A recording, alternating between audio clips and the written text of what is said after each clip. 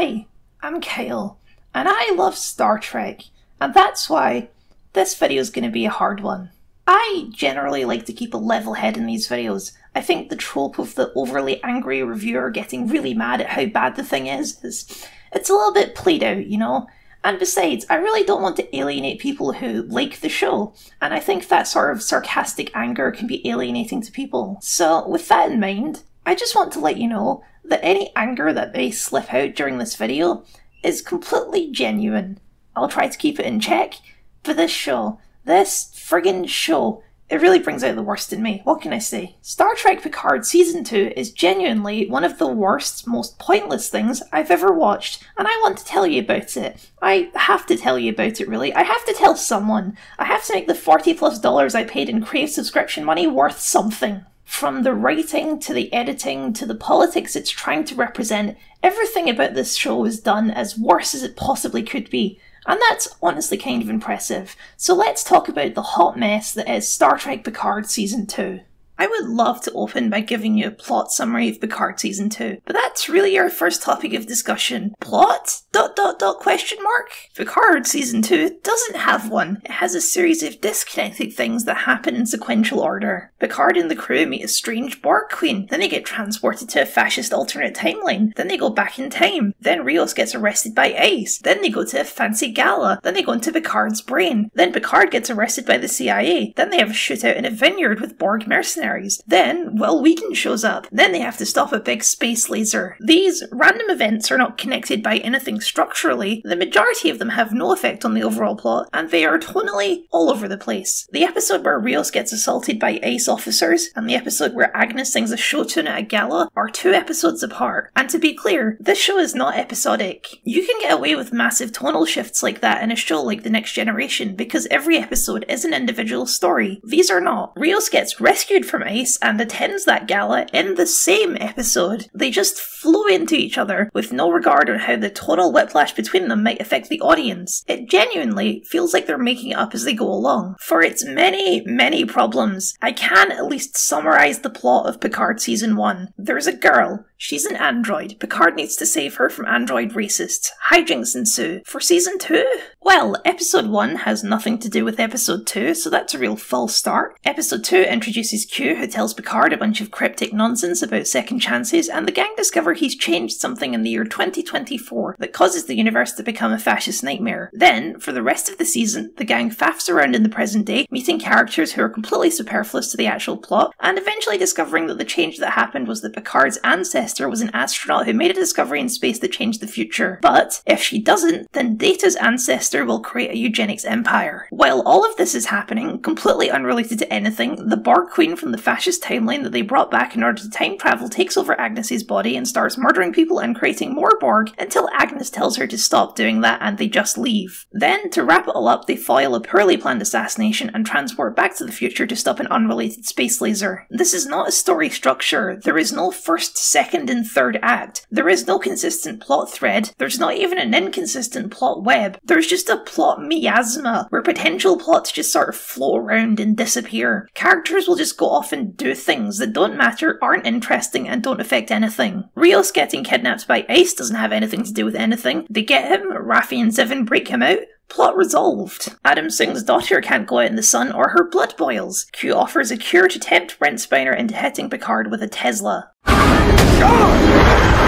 Then his daughter discovers she was grown in a vat. Q gives her the cure, and she literally walks off into the sunset. She never meets the main characters, but she does meet Wesley Crusher for absolutely no reason at all. Guinan shows up for an episode so that she can tell Picard who the Watcher is. Then she comes back to summon Q so he can spout more cryptic nonsense. I guess finding other, more important characters is technically a plot point. Raffi and Seven spend a whole episode wandering around LA doing basically nothing. Then they spend an episode rescuing Rios from the pointless ice plot. Then they spend an episode tracking the Borg Queen all the way back to the place they started, the ship, like a good narrative cul-de-sac. By the time of the finale, when we actually make it to the future again, they only have five minutes to explain and stop a random space laser wormhole, and they do it and everything works out fine. Yes, I could be thorough, I could start pointing out plot holes, and there's tons and tons of them, but why even bother? There's no plot holes that matter because the entire plot is a hole. Does it matter that the rest of the CIA never discovered Picard even though the evidence was caught on camera? Or that Q can somehow pose as a CIA operative let into this guy's private, off the books interrogation room despite demonstrably not having his powers anymore? No, because the entire CIA plot is a pointless one episode tangent in a sea of pointless one episode tangents. Who cares? Certainly not the writers. If there's one plot problem that I will spend time nitpicking, because this is, after all, supposed to be a sci fi show, it's the many, many ways this show doesn't understand time travel. Let's talk about time travel.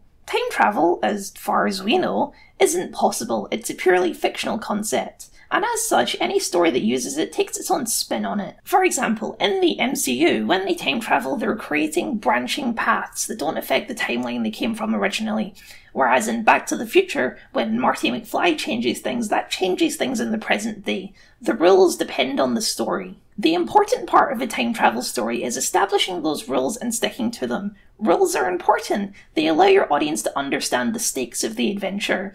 If Marty McFly doesn't get his parents back together, then he's never born. Time travel shenanigans. Picard Season 2, on the other hand, sets up its time travel rules and then just kinda completely ignores them. We establish in episode 2 that the fascist world that the gang have woken up in is not an alternate universe, it's their universe that has been changed in the past, a la Back to the Future rules. Q has changed something substantial, Rene Picard's mission, and that has changed the future into a human first fascist nightmare. This is what's known in chaos theory as the butterfly effect. Small changes in the past can have massive ramifications in the future. For example, if George McFly stands up to Biff here in this parking lot, his life is much better 30 years later. He has has a nicer house, a nicer car, he's the boss of his own company, and he doesn't look all weird and greasy. Butterfly effect. Picard and the crew are very clear on these rules when they first arrive. They reinforce them constantly. Any changes could be catastrophic to their future, especially since we're talking about several hundred years instead of 30.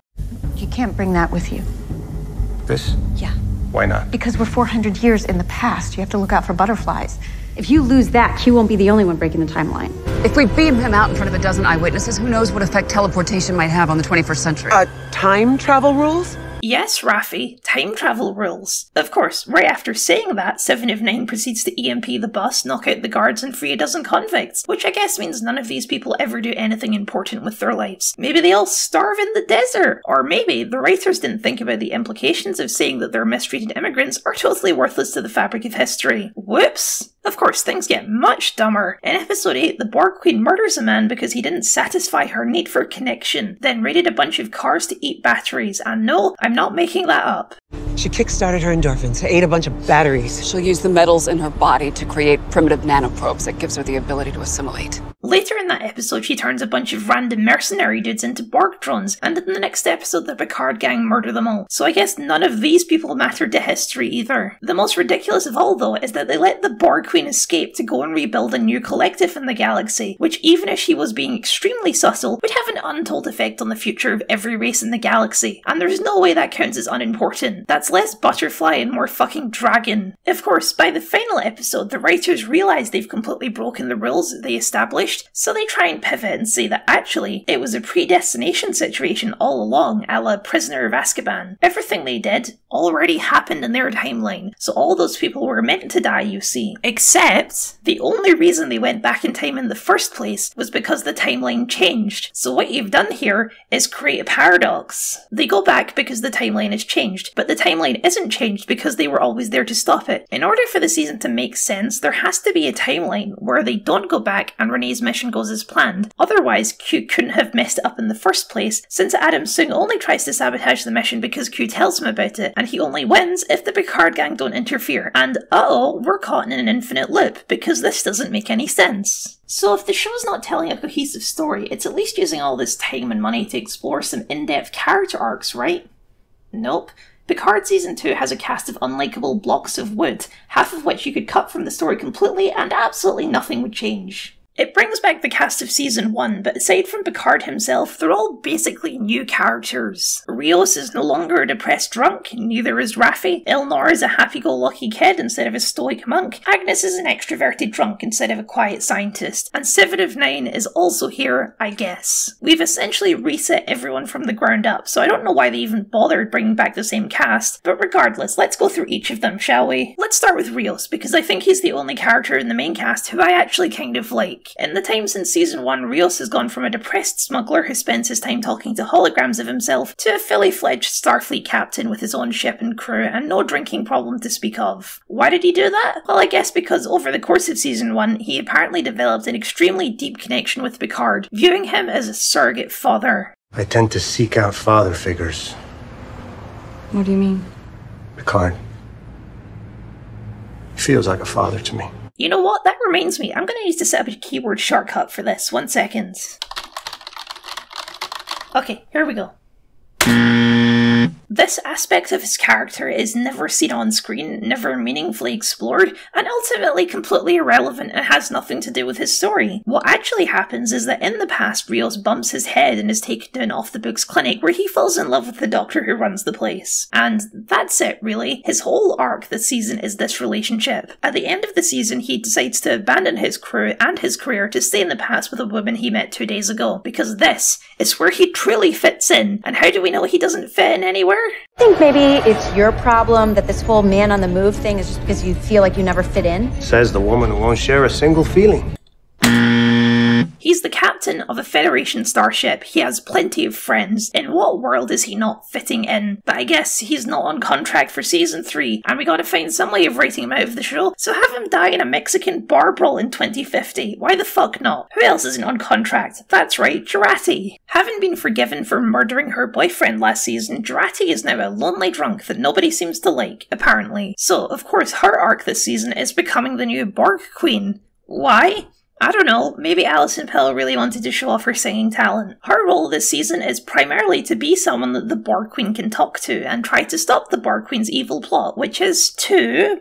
Um, you know, I have no idea. The Borg Queen being from the future knows that any drastic changes could result in a terrible future for her. They found her about to be executed in the fascist timeline, and yet she forms an alliance with Brent Spiner, promising to make that future happen for him because reasons. She also, maybe, wants to create the collective 400 years in the past and get a head start on all of that because the writers of the show forgot or just don't know that the Borg have existed for thousands of years. They're made up of organic and artificial life, which has been developing for thousands of centuries.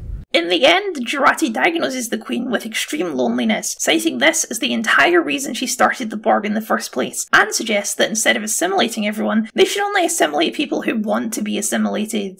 This was never about perfection or evolution or any of that bullshit. It was never enough because you're just like me. Lonely. I guess the idea here is that they'll compensate for each other's loneliness together. How do we know Jurati is lonely, you ask? Well, You're alone, Agnes, in every timeline. Every permutation, in every reality of this universe, you are utterly alone. Also, that's not how multiverses work. Yes, there would be infinite universes where Agnes is alone, but there'd also be infinite universes where she isn't, unless the Borg Queen is suggesting that Agnes being alone is a core pillar of reality akin to gravity. Also, it's not even true. The show tells us Jurati is lonely. It tells us this all the time, but we only ever see her on screen with other characters, and she seems to get along with them just fine. She's introduced on a mission with Soji, and they're bantering like old friends. She has a warm relationship with Picard. Elnor gives her a big hug when he sees her. There's no evidence of this crippling loneliness that the Borg Queen is exploiting. As for the Borg Queen being lonely, that's a different kettle of fish. I always thought the Borg Queen was a silly concept to begin with, but the idea that the entire drive of the Borg, the collective, the assimilation, was because a lady was lonely? That's so basic.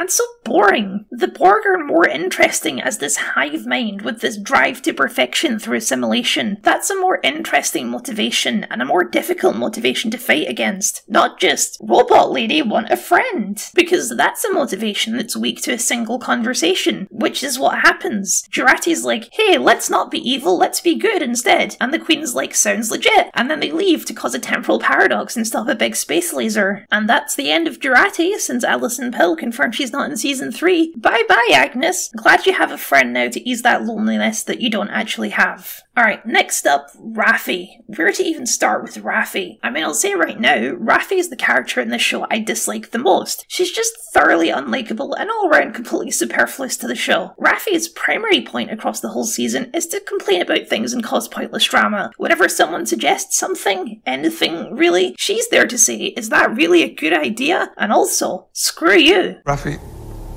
I know what you are feeling. I promise you don't.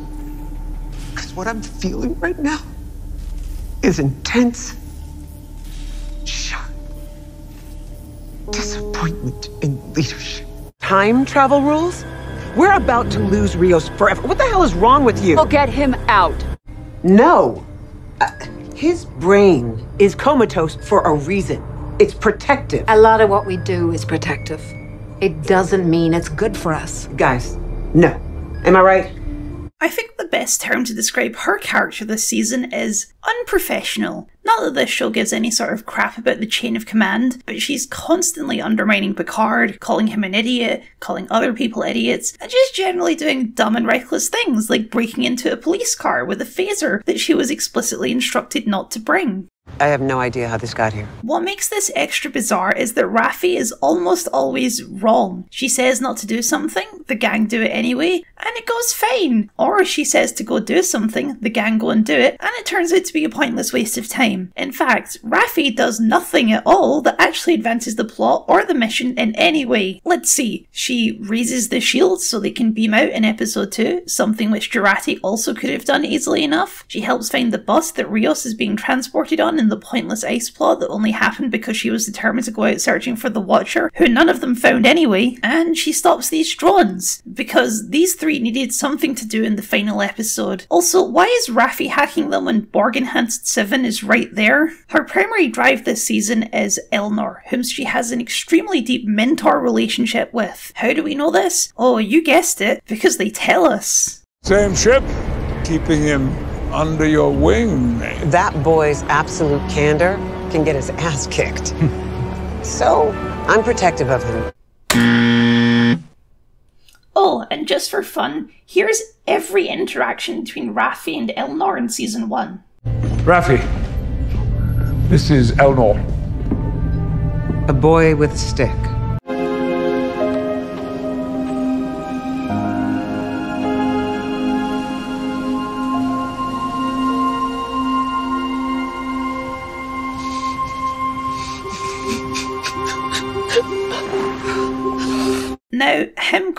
Into Raffi's arms at the end of season 1 was also really weird, but Picard had died and hadn't been brought back as a robot zombie Jesus yet, and Seven and Rios were busy. So going into this season, the entirety of the relationship fits into 44 seconds of video, and we, as the audience, are to make the massive leap that she's now basically adopted him as her new son. It's a bit much, and it's a bit irrelevant because he dies right at the start of episode 3, and he dies because he's pointless and the writers don't know what to do with him. So they kill him off for some easy drama, and so that Raffi can keep seeing his ghost for even more drama. This relationship takes a darker turn when Raffi tells us that she emotionally manipulated Elnor into joining Starfleet for her own selfish reasons, which is, you know, not very good.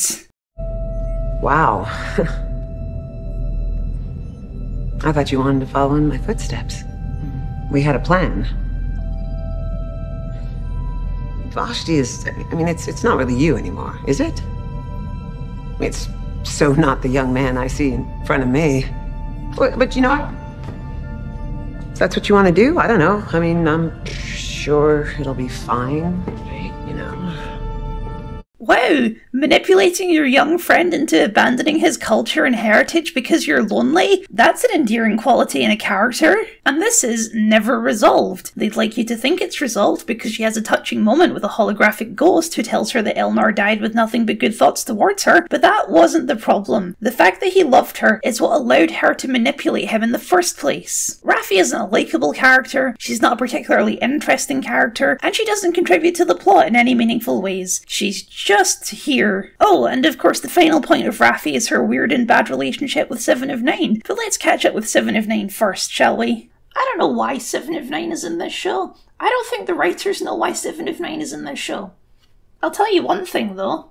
I really wish she wasn't. Back during season 1, I made a whole video about the scene where Seven of Nine beams down into a bar and murders a bunch of people. But that video was focused less on Seven herself and more on the concept of revenge and how it factors into Star Trek. This time, let's talk about Seven, shall we? One of the best characters of Star Trek Voyager and one of the most depressing elements of this show. Seven of Nine, as seen in Star Trek Picard, is a tired, angry, and bitter space vigilante because she's the victim of constant space racism. How do we know she's the victim of space racism?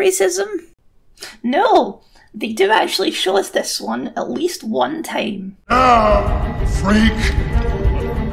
Show me your ugly Borg face. I mean, it's cartoon racism delivered by a Mad Max reject, but at least they actually show us it on screen, because otherwise, it's not even a problem. Everyone on the show treats her just fine, and the only problems it seems to cause are internal. Seven's arc this season is something something self acceptance, because when she gets transported to the alternate fascist world, she loses her Borg implants. She's a normal girl now, and she looks at herself in the mirror one time, so we know she's kinda happy about that. Then she has this exchange. Strangers don't usually like me. You in 2024 should get a room.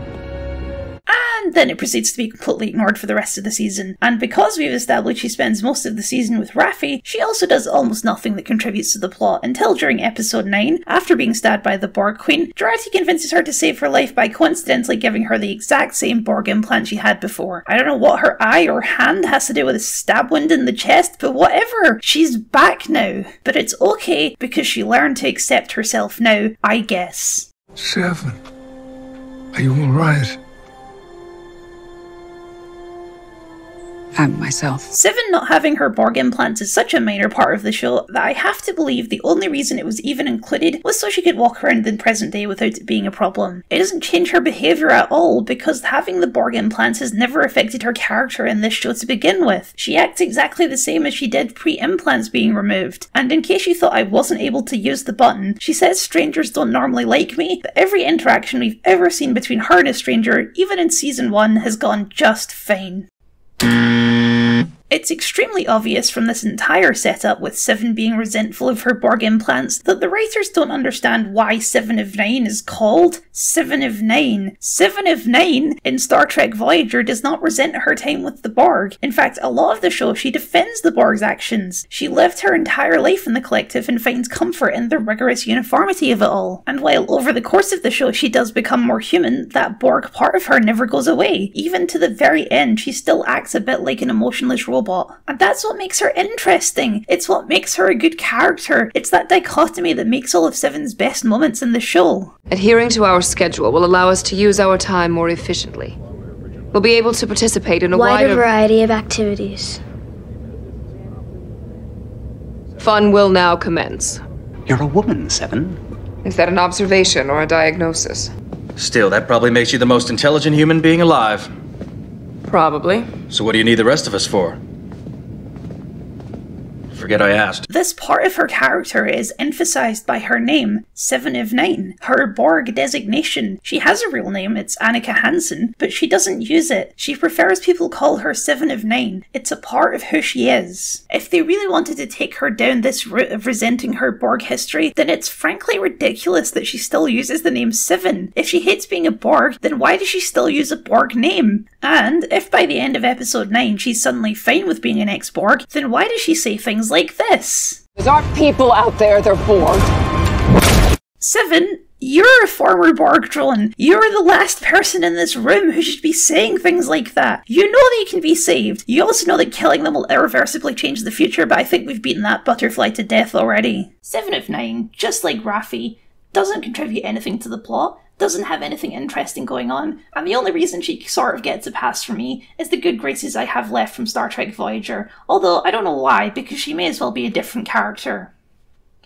Oh, and her relationship with Raffi. Of course, I almost forgot. Sort of like the writers. So the end of the last season showed Raffi and Seven holding hands during the musical montage, and this season they followed that up with one of the weirdest, most poorly written romantic subplots I've ever seen. Between seasons, Seven and Raffi did date for some time, and then broke up because Seven was too busy being a badass space vigilante, and then over the course of the season they reconcile, I guess. They have absolutely no chemistry, all they do is argue with each other until the last episode when the writers remember they're supposed to be a couple. Now I do not claim to be an expert on relationships, but I personally feel like if you want to establish a romantic relationship in a story, you need to establish why the characters like each other, why they want to hang out. They even sort of managed this with Rios and Dr. Lady. They flirt, they joke around. With this framing device of having dated and given up, the show just totally skips that step and now we're on to bickering like an old married couple stage. A sure sign of a healthy relationship. It doesn't help that there's no consistency to their relationship dynamic. In episode 2, Raffi claims that they broke up because Raffi is too sensible and Seven is too wild. And then for the rest of the season, Seven is shown to be the sensible one, with Raffi doing the reckless things. I mean, forget about being consistent between seasons, they can't even be consistent between episodes. Alright, who we got left? That's right, an expansive cast of characters who are boring and don't do anything. Like Elnor, who dies in episode 3 and does nothing. Or Guinan, who, as established, shows up so she can summon other, more important characters to do things. That is, if you consider Tallinn the Watcher an important character, which I don't, since after she's introduced and tells Picard about Renee, all she does is stand next to Picard while he has traumatic flashbacks. Oh, and then die. There's Brent Spiner, who's playing a worse version of the exact same guy he played on Star Trek Enterprise, and his daughter, who's playing Soji from season 1, but a clone instead of a robot. And who else? Renee Picard? Well, she's not a character, she's a human MacGuffin. She has absolutely no will of her own and will do whatever the last strange old man tells her to do. So, no. Uh, Rios' Doctor Lady friend? She's not a character either. She's a motivation so Rios can leave the show. Who else? Oh, Q. Of course. How could I forget? Well, because he's barely in the show. But still. So Q's deal this season is that he's dying. Why? How? Who cares? Certainly not the writers. The immortal godlike being is dying, and nobody ever asks how. Before he dies, he wants to teach Picard a final lesson, and we'll get to the content of that lesson later, but it's just the same lesson he taught him in Tapestry, only worse and dumber. Mainly, Q is here to spout cryptic nonsense about time and destiny, and prove that John de Lancie is a real professional actor. Trap is immaterial. It's the escape that counts. The show wants all the stuff with Q to be deep. Really, truly, for the first time, he's mortal. Forgetting that one time he became mortal because this has already happened. I realized that my body was no longer functioning properly. I felt weak. I could no longer stand. The life was oozing out of me. I lost consciousness. You fell asleep.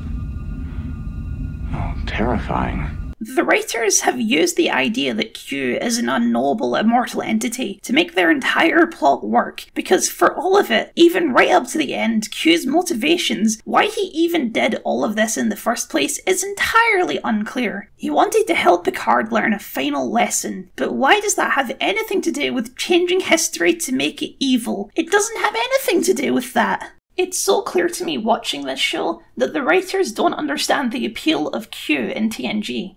The appeal of Q is. Are you ready for this? He's funny. Au contraire, mon capitaine! He's back!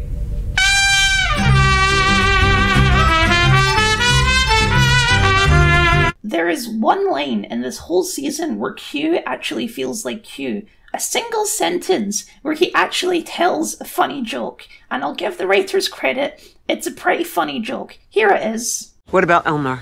Who? That's it, a single line where he makes a joke. That's the only time in the whole season when he feels like Q. For the rest, he's spouting cryptic nonsense and he's barely in it. What a great use of Q. Well done, truly. So we're not watching for the intriguing plot, we're not watching for the cast of lovable and interesting characters. Maybe we're at least watching for some really good filmmaking, right? Nope. Picard Season 2 has some of the worst editing and worst special effects I've ever seen in a big budget TV show. There are shots in this show that legitimately look like YouTube skits. I'm not going to go through the entire show pointing things out, instead, we'll condense this section down into one episode in particular, which has the worst of all of it Episode 9. So, the crew needs to get onto La Sirena and stop the Borg Queen. She's assimilated a bunch of ex military mercenaries and has an army of them patrolling the grounds of the vineyard. That's the stakes. The execution? Oh boy. Let's start with how these scenes look. As you can see, everything has been painted blue because it's nighttime, you see, and everything is blue at nighttime. And it's a thunderstorm, except it's not raining, it's just thundering constantly. Like, literally every few seconds there's a flash of lightning. It's hilarious. It's like there's a strobe light in the sky. I mean, the constant dark blue over everything is also probably to hide the terrible green screening that's being done. I mean, look at this shot. Sorry, let me just adjust the brightness so you can actually see it. I'm pretty sure even if you're not an expert filmmaker, you can see that something is off about this shot. The thing you're seeing that's being weird is that the space around Brent Spiner and these Borg dudes doesn't match the background. The lighting is different. On the back layer, there's a light coming in from the right of the frame, but Brent Spiner is being lit to the left. Whereas these two guys are being lit from the right, but this guy back here, who looks like he should be directly in this light source, is being lit from the left. Also, none of them have shadows. Also, these green laser pointers. We're to assume they're coming from more guys in the bushes, but we can clearly see there aren't any more guys. Also, the laser pointers aren't pointing anything, they're just pointing out. At the end of this scene, these guys start firing, but they don't fire in the direction that Brent Spiner is looking. They just start firing randomly because all of these people were shot at different times and then put into the same shot via editing magic, and you can clearly tell, and the result is visual soup where nothing makes sense, and your brain starts to reject the whole thing like a weird dreamscape. And there's nothing wrong with compositing a shot like this. This happens all the time in movies and TV shows, but you almost never see it done this poorly. Throughout this whole sequence, it's clear that these military people had almost no direction in what they were supposed to be doing. Just wave your rifles around and shoot at things, we'll fix it in post later. Those laser sights are a constant point of weird problems because when bullets are fired, they don't line up to where the lasers are pointing, which kinda defies the point of a laser pointer. Also, they're just edited into the background completely at random, like this shot here where the laser pointers are pointing directly down at the ground. Are there two dudes up on the roof just staring at the floor?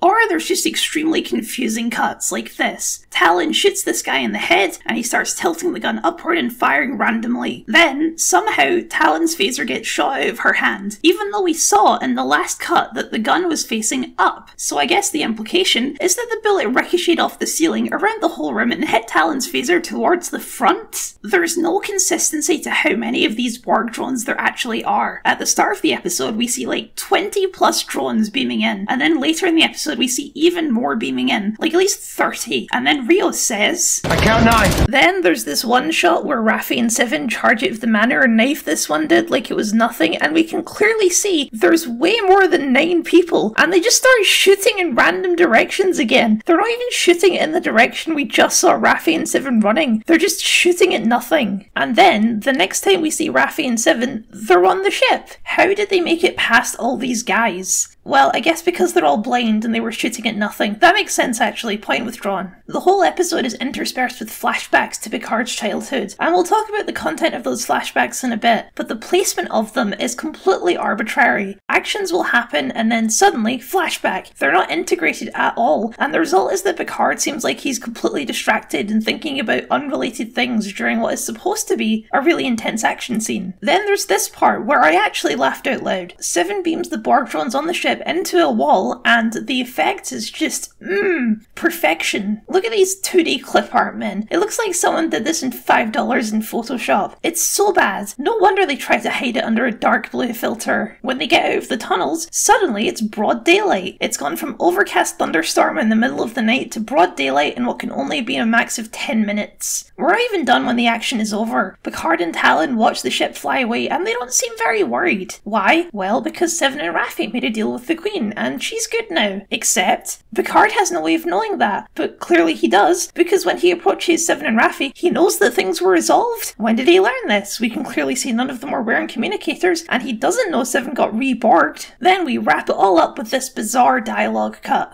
Before Agnes left, she had a message for you. In order to succeed, there must be two Renees one who lives and another who dies. I refuse to accept an outcome that has not yet occurred. The tone implies that this was cut from the middle of another sentence, and I have to assume that's the case because it has nothing to do with what Seven just said. The whole show is littered with problems like this. The gala is another prime example of things just not lining up at all. It's genuinely shoddy work, especially for a show with this kind of budget, and it distracts from the story the show is trying to tell. Oh wait, maybe that's good. so, we're not watching for the intriguing sci-fi plot, we're not watching for the lovable cast of characters. We're not watching for some excellent filmmaking. Fine. Fine. Even if all of this is really bad, Star Trek is a show about morality, so I'm sure there's a really great message to take away from this season, right? Right? Ah! Picard Season 1 had some seriously messy politics, which, again, I documented at the time in a separate video. It mixed its allegories and parallels so much that the final message of the show was completely incoherent. Picard Season 2 has a completely different yet equally bad problem, which is that it isn't even trying to say anything meaningful, it's just trying to look like it is. I've mentioned the pointless ICE tangent several times now, but let's go more in depth, shall we? After all, it's ICE being portrayed in a negative way. That's political, right? That's saying something. Oh yeah, it's a really deep message too, really exploring the intricacies of the current American border crisis and the political factors that have led to the intricate policy issues that have given ICE so much power. No, I'm just fucking with you. They're presented as evil supervillains akin to the Empire in Star Wars. You eyeballing me, asshole. The hell is wrong with you guys? Slap on a badge, put on a uniform, you think you can treat people this way? Shut So I'm not about to get up here and defend ICE. Fuck ICE. ICE is bad. And I know ICE is bad. I don't need the show to tell me that. I've seen the YouTube clips already. Saying that ICE is bad and showing that ICE is bad is not groundbreaking political commentary. Pointing at a problem and saying it's a problem doesn't say anything about the problem. If you've been paying any sort of attention to global politics, then you know anti immigration sentiment is on the rise. You don't need the show to tell you that. And that's all the politics in this show is pointing to things and saying that they're bad. Climate change. You know they're actually killing the planet? Healthcare. I did not not sleep for six years in med school so I could watch my neighbors die because I'm too afraid to go to the hospital. Wealth inequality. A few folks have enough resources to fix all the problems for the rest, but they won't. Because their greatest fear is having less. Poverty. And humanity?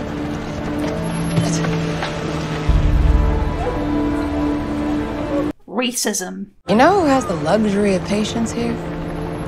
Someone who looks like you, and not like me.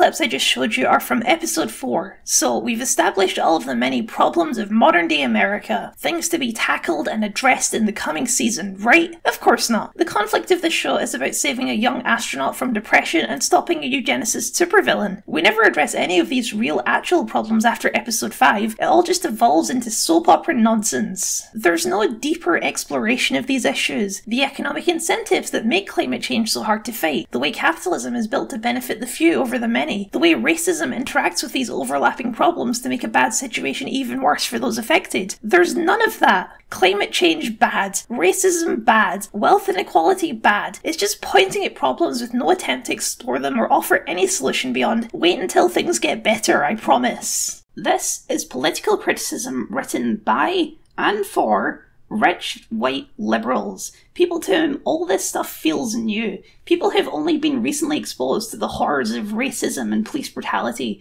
people who have lived sheltered lives where they don't have to think about this stuff.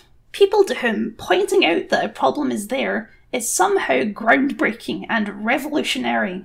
You know, there are tent poles to Guinan's history, but interpolation is possible. So we took at heart this idea that Guinan spends some time listening.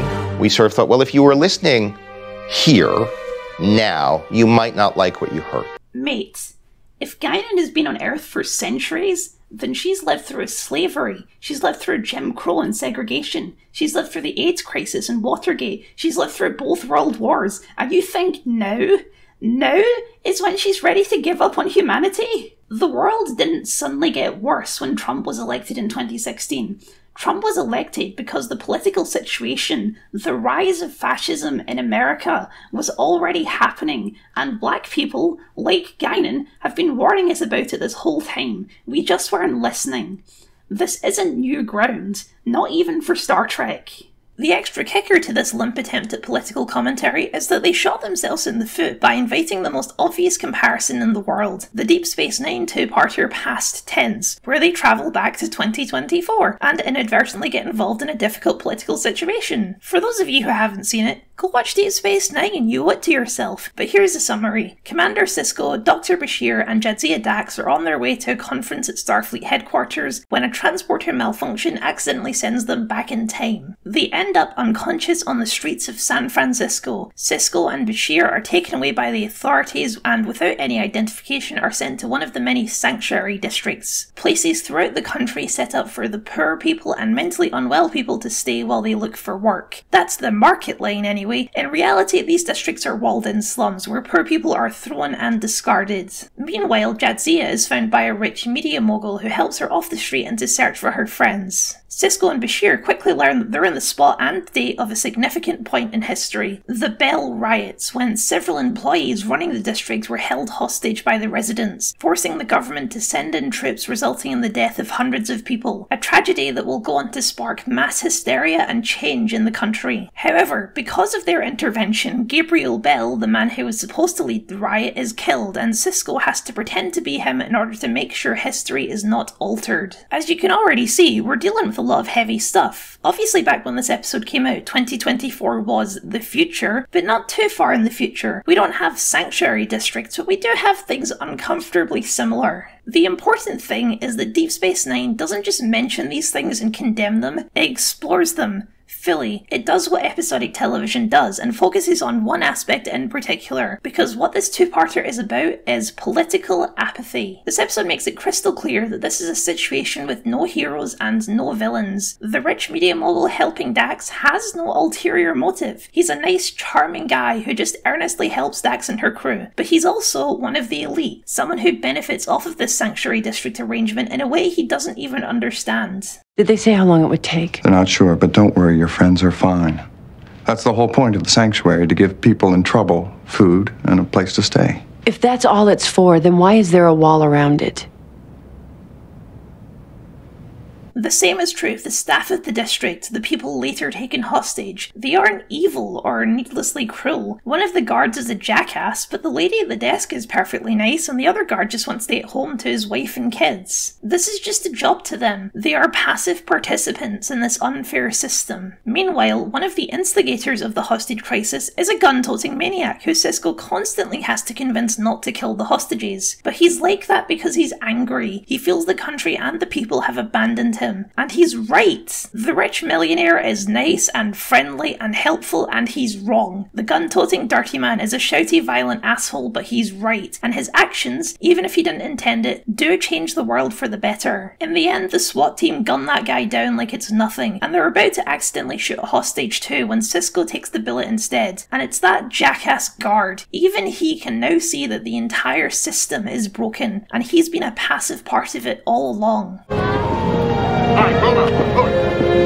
How could we have let this happen? Because he isn't a supervillain. He's just a man. A man who spent his whole life in the system and learned how to tune it out. This episode is littered with moments like this. The office clerk tells a story of how when she first got the job, she was idealistic, tried to help a woman who couldn't care for her kids, and she nearly lost her job because of it. So now she just does what she's told. Or when Chris takes Dax to a fancy party and the rich folks chuckle about how Europe is falling apart, and they're lucky they don't have such problems here. Not because they're malicious, but because they genuinely don't know how bad the sanctuary districts are, or possibly worse, they've simply chosen not to understand it. Like many Star Trek episodes, there's a fantastic quote to sum it all up. Causing people to suffer because you hate them is terrible. But causing people to suffer because you have forgotten how to care, that's really hard to understand. And it is really hard to understand. It's really hard to accept the ways in which you may benefit from the suffering of others, that you're not in poverty, and that you don't have any incentive to help those who are. And even Deep Space Nine can't give a definitive answer as to why. You know, Commander, having seen a little of the 21st century, there is one thing I don't understand. How could they have let things get so bad? That's a good question. Wish I had an answer.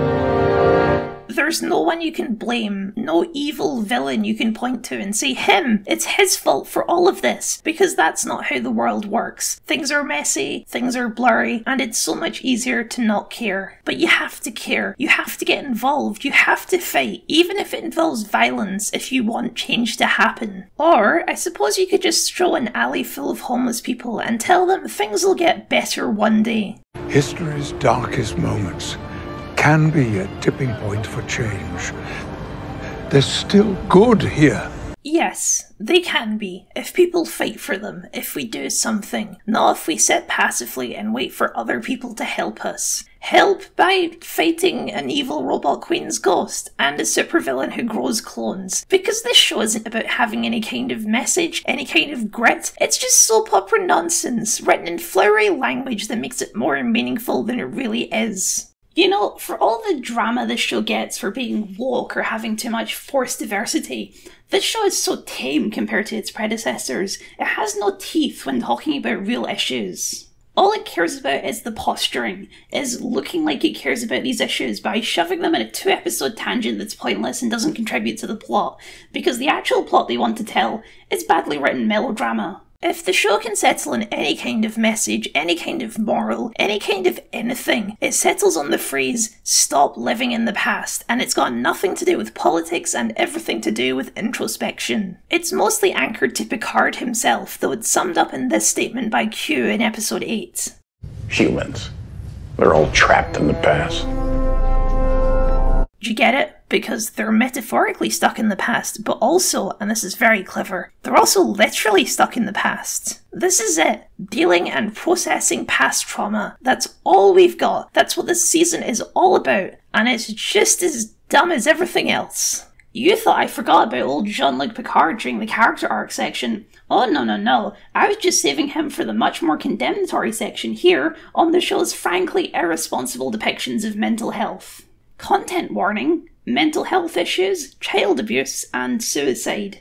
Skip here if you're not interested. Picard Season 1 handled suicide about as responsibly as an episode of South Park, and I'm sorry to say that not much has changed going into Season 2. See, the thesis of the show is that everyone is living in the past. We've all got some sort of trauma that we're dealing with, and Picard's is his mother. Throughout the show, at somewhat random times, we get flashes of Picard's childhood, primarily of his mother, and the implication that something sinister happened to her. It's also suggested that this trauma in his childhood is why he's alone, romantically. This is why he won't accept the advances of his recently widowed housekeeper at any rate. So, over the course of the season, we learn are you ready for this? That Picard had suppressed the memories of his mentally ill mother hanging herself in the atrium because his father had locked her in a room and Picard let her out and she hanged herself that very night. Everything about this scene, this reveal, and the way that mental health is handled in this subplot is so tone deaf. The fact that they're all dressed like it's the 1800s might make you forget that it's set in the year 2300, and their approach to mental problems is to lock her in a room, like they've diagnosed her with hysteria. It's stated that Picard thought his father was abusive to his mother, but really, he was trying to help her by locking her in a room until the problem went away. It's 2300, the era of Kirk and Spock. Take the woman to a goddamn hospital and away from the child she is clearly a danger to. But instead, Picard reconciles with the illusion of his dad and says, Yeah, dad, you were doing the right thing locking her in that room.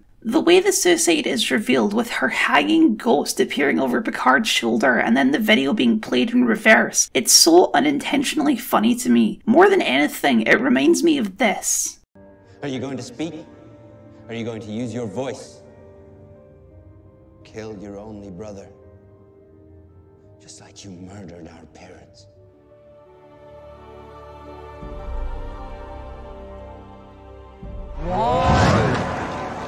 It's a scene where the tragedy of what's happening is so completely mismatched with the filmmaking choices that I can't help but just laugh uncomfortably. But the worst part to me is the implication that this event almost a hundred years ago is why Picard isn't ready to love. Picard can't just be a professional sort. He can't just value his career more than relationships. He can't just be happy with his own company. There has to be a dark, tragic reason. There has to be some trauma that prevents him from love. Fuck that.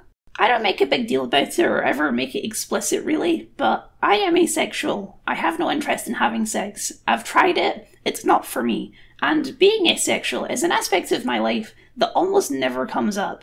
But this show and this argument are dangerously close to arguments I hear all the time about ace and aro people. Now, I'm not saying Picard is ace. Jean Luc Picard fucks, okay? But the argument, the idea that you need a reason to not want to be in a relationship, there has to be some damage that means you can't connect to people. It's the same logic that leads to people trying to fix Ace and Aro people. And yeah, I'll say it, I'm kind of offended by the insinuation. The scene of the suicide is accompanied by a speech from Picard, and that's the final thing I want to talk about, because it's flowery, poetic nonsense. There are moments in time we wish we could travel back to. Memories, pieces of life better lived in reverse. In those moments, tragic endings might rewind into joyful beginnings. You see, all this mental health melodrama backstory can't just be delivered in a simple way. No, it has to be caked in allegory and full of deep and poetic dialogue. We can't just have flashbacks to Picard's childhood. There has to be a fake psychiatrist who's actually his dad and a framing device of a fantasy tale. Why? Well, so we have an excuse for deep and meaningful dialogue like this. Ironic, isn't it? We're all here for you, Picard. Only you can stop it. Say something real. One real thing. Why do you think we're here? What does that mean? I have no clue, and I promise you it makes no more sense in the context of the scene. He says real things all the time during the scene. It's heavy and deep sounding dialogue, but if you think about it for more than a second, you realise that it's just meaningless fluff. And maybe you can forgive it, because after all, this is an imaginary dream sequence in his head, just like maybe you can forgive lines like this for the same reason. I want you to understand how deeply I love you. No matter what your life brings, if I know you forever or if I know you for moments. In every breath, who you are is who I am so proud of you for becoming. Yes, that's an overbloated mess of a way to say I love you, but it's a fantasy dreamscape realm, so that's fine, right? Well, it would be if the entire show wasn't written with the same poetic nonsense. Here's what Picard says to Renee to cure her of depression. Here is the argument that astute diplomat and Starfleet captain Jean Luc Picard makes to a pioneer astronaut. I found that even in the darkest circumstances, there is a light, sometimes only a glimmer. Trust that light. Find a way back, no matter what it takes. This is nothing. It's metaphorical poetry that is entirely unconvincing to anyone who's ever actually spoken to a therapist or battled depression. It's the same tactic they use when writing horoscopes. The metaphor is so vague. Find the light. Find a way out of the darkness. It could apply to anyone in any situation, and that's not how depression works. Depression is individual. It has to be unique person to person if you really want to fight it. And that's when the dialogue is supposed to be metaphorical and poetic. Sometimes characters just spout poetry for no reason at all. The part of me that really wants is the part that has to wait in line. I want to learn to swim. I want to see nothing but sunlight hitting the pool. Breathe the ocean air. Real? Real? Reality is a construct of simple minded fools who can't function in the absence of boundaries. Real. This is not clever, intellectual dialogue. This is shite. Nobody talks like this. It actually causes so many problems within the show and without because nobody ever says what they mean. They quote it in these poetic metaphors that sound really deep and the emotional music swells, but it's nothing. It's just bad, stilted dialogue. The depth of the metaphors are as deep as the man who thinks he's a god naming his daughters after children of Zeus, because he's a cartoon villain. Persephassa. Despoina. Proserpina. Lake Kore. Different names for the same girl. Daughter of Zeus. Father of the gods. Hey, Prometheus would have at least been a relevant god for your ham fisted metaphor, but I guess that's too obvious. It's dialogue written to sound hefty and deep in a trailer on YouTube, and by far the worst offender of this is Q, who speaks in nothing but poetic nonsense for the entirety of the show. You want me to cut to the chase? Yes! Well, the chase is cut, Picard. The chase is bleeding. The chase is dying in your arms. And I am but a suture in the wound. Who the hell are you? I am the evolution of stardust. I'm the gentle flutter of a butterfly. I am death, destroyer of worlds. Humans, your griefs, your pains fix you to moments in the past long gone. You're like butterflies with your wings pinned. The show brings up all these weighty philosophical concepts like morality and legacy and love, but its approach to these things is the same as its approach to politics, just pointing at them. It's all window dressing, flowery, poetic flourish to make everything seem deeper than it actually is. All to disguise the fact that the only way they know how to make characters interesting in this show is with tragedy. Everyone needs a tragic backstory. Would Picard even be worth watching if he didn't have a tragic backstory? Just like Rios and his suicidal captain, just like Raffi and her abandoned son, just like Seven and her eyeballless son, just like Jurati and her dead boyfriend, just like Elnor and his exploded planet. Tragedy is not the same thing as depth. Tragedy is just tragedy, and Picard, professional Captain Picard who didn't have time or interest in a romantic relationship, is a deeper character without this backstory explaining his behaviour. His behaviour didn't need explaining to begin with. The very thesis of the season, we're all living in the past, is wrong, but it does explain this otherwise pointless CIA guy plot. He's here to reinforce that thesis, because he too is driven by a traumatic moment in his past, and once he's resolved it, he can be free and become a better person, and Guinan can deliver more fluffy dialogue that makes no sense. It's what's special about humans. Yeah. Our inability to escape the past. The opposite. When something inside you is broken, it stays with you. You live in the past until you're able to reconcile it, even if it's painful. You do the work because you want to evolve.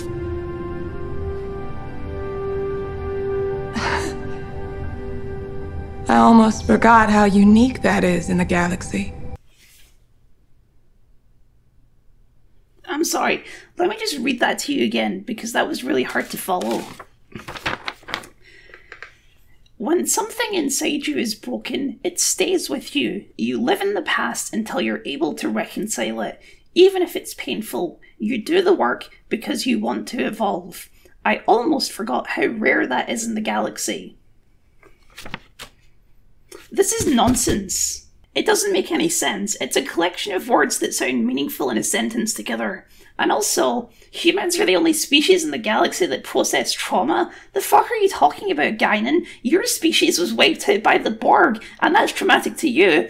At least in the episode where the Borg are introduced. Or that guy in Star Trek Generations. That was his whole motivation. Even in Star Trek Discovery Season 4, the main antagonist of that entire season is entirely motivated by past trauma, and he's not a human. And there's more. There's so much more. Every time I think about this show, I find more things that don't make sense. It's broken my brain. Like in episode 2, when the bad guys are shooting phasers and they shoot Elnor, he gets a bullet hole, but as soon as the heroes are shooting phasers, they instantly disintegrate people. Or how Guinan should already know Picard, because they met in the 1800s and had an adventure with Mark Twain. Or this. Aspectus, extrapolate 2D video to 3D environment. It's 2024. How does that work? Or Brent Spiner's magic drones that block sunlight? How did he make this stuff? Once I switch it off, can't use it again for eight hours. Okay, first off, why would that be the case? And second off, why even mention it if the next time we see her she has human ears again? What was the point of that line? If the Borg Queen turned off all the power, then how come the power is back five seconds later to spotlight her grand entrance? Did she arrange this whole song and dance with the band and staff ahead of time? When? When did she do that? And why would they agree to Picard even get damaged by a car? Isn't he a robot now? That's why he short circuits the defibrillator, but he bleeds blood, and she scans him and he says he has organs. So what the fuck is he? Is he an android or isn't? If the Watcher is here to protect the timeline of Renee Picard, then why isn't she trying to make sure she stays on the mission before the crew arrive? What timeline did she think she was protecting if not that? Does she not know her own mission? Why does the Borg Queen have manicured fingernails? Oh, you can just inject a cure to a genetic disease into your arm and that's it? You don't even need to give it an hour to fully circulate How the bloodstream that's very her? see the She hallucination of Durante if the she's talking to get here inside her head. was outside possibly be a ah. faster route to get back to the years have are the Borg drones shooting at a hologram? He's a hologram. Anyone except his DNA it for certain that same line. One, why is he that's never seen the villain happen before, and two, it's not even his phaser. And speaking of which, why did he hell's back going to on? every day His phaser phaser craft off to the Stargate with? She was on the Sure, that's all you Excelsior when they Did left. you even have time to Don't get worry, the the scope Excelsior. This one, it was in your house. They break quarantine on launch If they break day. quarantine on launch day, then what's the point of a quarantine in the first place? Megan, stop!